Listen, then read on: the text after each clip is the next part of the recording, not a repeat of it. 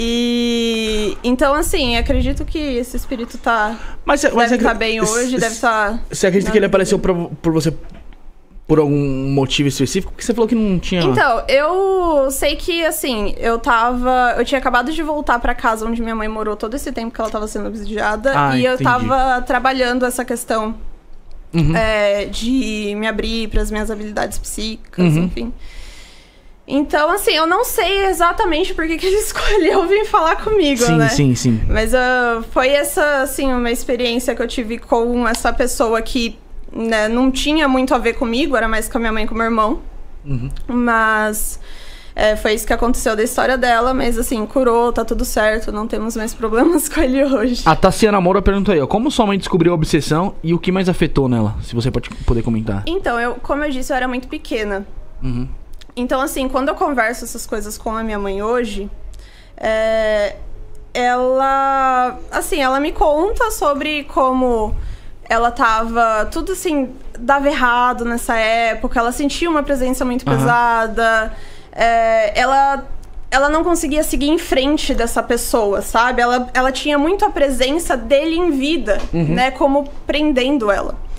Então, assim, eu sei que. Eu não sei exatamente como ela descobriu, mas eu acho que por ela estar se sentindo tão mal Uhum. durante todo esse tempo, uma tia minha, queridíssima, eh, já frequentava o centro espírita. Acredito que ela chamou minha mãe junto e lá eles trabalharam nisso. Tanto que eu sei que uma, uma coisa que eu lembro muito bem da minha mãe falando disso é que uma médium né, do centro nunca tinha visto ele, mas descreveu ele completamente. Como assim. ele era. Sim, então eu acho que foi nesse momento que ela descobriu. E aí Que eles era. começaram a fazer essa, esse tratamento. Ô, Fefe, o pessoal que tá perguntando aí, ó, no chat aí, Nada. nosso link do grupo tá na descrição, tanto o grupo 1 quanto o grupo 2. Pede lá pra entrar, daqui a pouco alguns dos administradores vão aceitar. É que o pessoal tá aqui no, tá, tá aqui no, Eu já no chat, mando, já né, mando. pô? Felipe já vai entrar, já vai aceitar todo mundo, já relaxa o coração, pessoal. Podem tirando não, suas Os dúvidas. dois que pediram eu já aceitei. Já aceitou aí o pessoal? Lembrando que dois lindos. a gente já falou um pouquinho de tarô aqui e tá rolando lá cursos Verdade. é, para quem é membro My Love, tanto do Bruno Cássaro quanto do Jorge Flores. Então você que tem interesse em começar, pode se É, tornar pessoa membro que tá My na Love dúvida aí como estudada, começar, é né? legal. O pessoal que tá na dúvida como começar.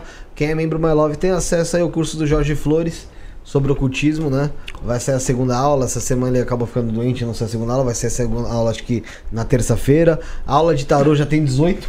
18, No canal, que você pode ir lá 18. maratonar. É pra quem é membro My Love, tá? Ao lado do botão inscreva-se, tem o Seja Membro. Depois a gente vai falar disso. Aí você clica lá e se torna membro do canal. Ahn, membro My Love tem acesso a esses dois cursos: o de tarô e o curso de ocultismo, luciferianismo com o Jorge Flores, tá bom? E se eu não me engano foi o Messias, ele passou pelo chat aqui é, e ele falou assim, é, Messias. foi- é, não, Melk Menezes, ele falou assim, hein, ele comentou sobre, é impressão minha ou todo mundo começa pela Wicca? Então, é, não é todo mundo, né? Mas a Wicca, ela teve. E tanto que assim, eu até. Eu acho que todos nós, por mais que muitos de nós não nos conectamos com a Wicca, eu acho que nós precisamos agradecer ela. Sim. Porque a bruxaria, né, foi completamente perseguida. E quando a última lei contra a bruxaria foi abolida, que Gerald Gardner trouxe a bruxaria e o paganismo de volta. Porém, ele fez isso de uma forma que fosse aceita pela sociedade de hoje, né? Então ele trouxe essa questão do, do bem, né, daquele bem absoluto que nós vemos no cristianismo. Ele trouxe a questão da deusa do Deus. Então ele foi juntando ali e trouxe a Wicca. Então a Wicca ela, ela foi responsável por esse renascimento da bruxaria. Então ela ficou muito popular e é muito fácil, principalmente para quem tá, por exemplo, no cristianismo, é, mas quer algo diferente, quer entrar para bruxaria, é muito mais fácil essa pessoa chegar na Wicca que vai ser ali um pouco parecido, né? Pra depois ela começar a se soltar e aderir a outras ideias. Então, realmente é muito mais fácil para uma pessoa entrar pela Wicca, também por ser uma religião. Então, acaba que muitas pessoas entram por ela. Antigamente a gente tinha uma. Antigamente não, a sociedade não colocou isso pra gente. Uma visão de bruxa como realmente uma pessoa É, mais maléfica, né, cara? É, tipo, E. E hoje em dia eu vejo. ah, Até que com uma Até eu vejo. Tendo em vista o que a gente recebe, eu acho que é bem tranquilo, né? bem light, bem suave, pô. É, É, não, tô falando. Não mexa com da- uma bruxa, mexa com uma bruxa você vai ver, parceiro. Você entendeu o que eu quero dizer? Eu Tô falando entendi da o que você dizer. do, tra- do trabalho. sim, sim, é, sim, exatamente. Qual a tua ligação com o Lilith? A minha ligação com Lilith. É. É porque eu vi que você tá usando Ah, sim. sigilo aí. Eu sou devota de Lilith. Hum. Também foi algo que depois que eu comecei a trabalhar com bruxaria que eu comecei a, a trabalhar a trabalhar realmente, né, ter como ofício a, a bruxaria, eu comecei a me conectar com Lilith também lá por 2021. É, na verdade, assim, depois que eu comecei a abrir as portas pra Lilith pra mim na minha vida, eu percebi que ela já tava aqui há um bom tempo. E eu tava renegando. Principalmente por um bom tempo eu fiquei com medo, assim, de iniciar trabalho com divindades. Porque, assim, eu gosto de estar tá muito pronta pra tudo. Eu gosto das coisas serem certinhas, eu gosto Sim. de estudar bastante sobre tudo, antes de realmente ir lá e praticar. Mas assim, ela veio quebrando portas, sabe?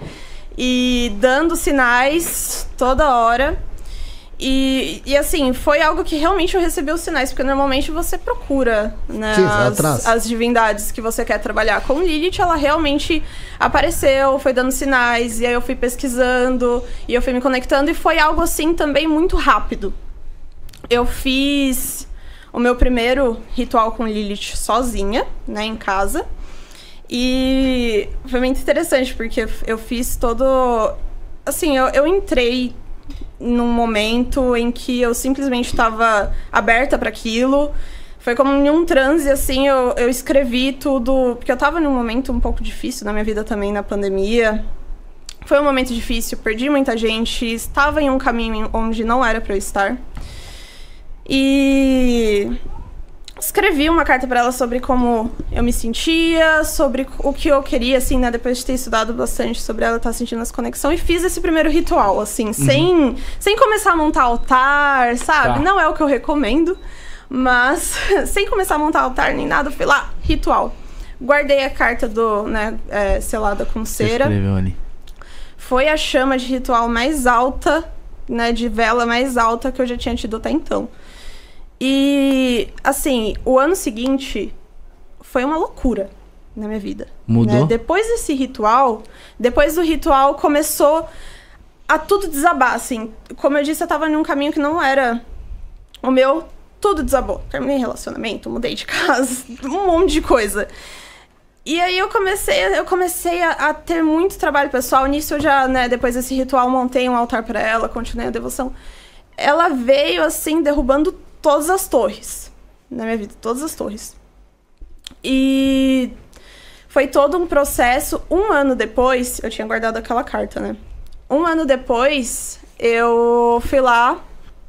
Depois, aliás, depois de um tempo desse primeiro ritual e depois sendo devota dela, eu participei, inclusive, de um ritual coletivo onde, assim, chorei. Foi muito intenso esse ritual. É, fui lá, participei. Depois do ritual também comecei a, a trabalhar muitas questões internas.